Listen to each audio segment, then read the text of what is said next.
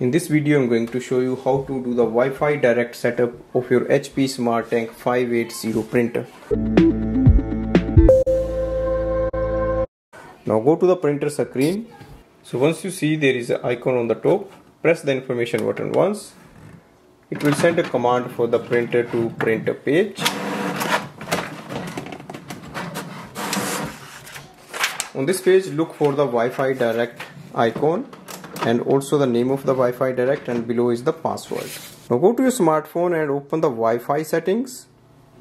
Now in the Wi-Fi select your HP Smart Tank 580 printer and enter the password as printed on the sheet and click on the join button.